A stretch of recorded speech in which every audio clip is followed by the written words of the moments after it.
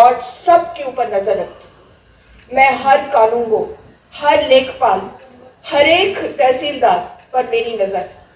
एक एक चीज़ जैसे एक माँ अपने घर को चलाती है, वैसे मैं सुल्तानपुर को चलाती एक तरफ़ से, एक तरफ़ से बड़े काम होते हैं।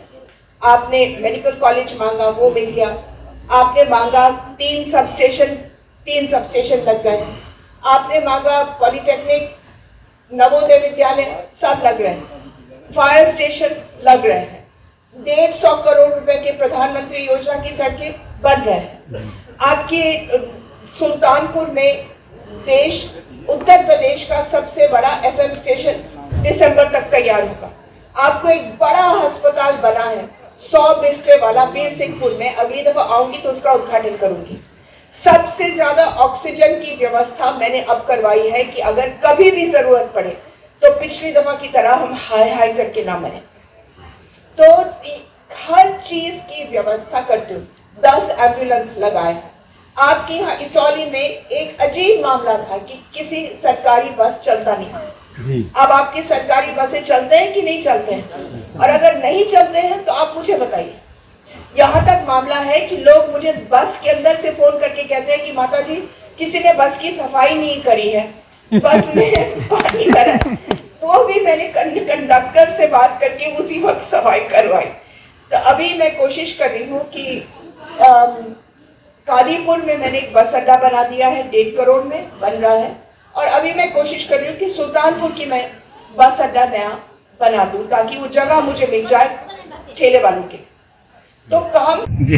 हाँ ये बात है। बिल्कुल और क्या संदेश देना चाहते हैं? ज़मीन मैं कहती हूँ जमील के की तरह अगर लोग अपना दिमाग लगाना शुरू कर दें और नए नए चीज़ें बनाना शुरू कर दें तो हम लोग सब अमीर हो हैं हम लोग डरते हैं।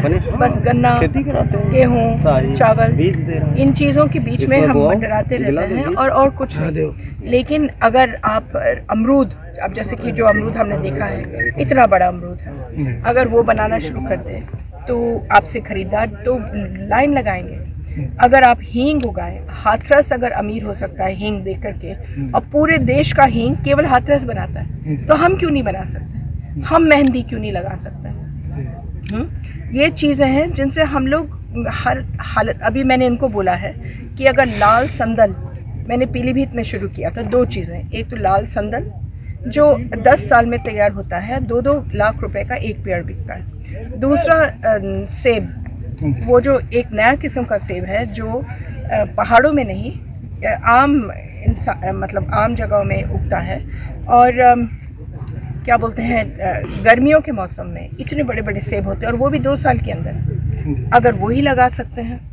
अब पिछली दफ़ा तो मैं लाई थी ये सेब, अब मैं और ले आऊँगी।